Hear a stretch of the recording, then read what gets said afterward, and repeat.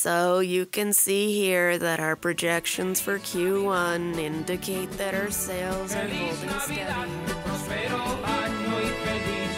92.5 The Chuck, Edmonton's official Christmas station for holiday fashion.